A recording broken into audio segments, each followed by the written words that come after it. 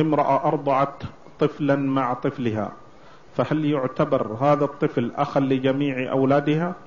نعم إذا أرضعت طفلا خمس رضعات يعني خمس مصات في الحولين فإنه يصبح ابنا لها وأخا لجميع أولادها الكبار والصغار وحتى لو كان لها أولاد من عدة أزواج فكلهم إخوة لهذا المرتضى. نعم.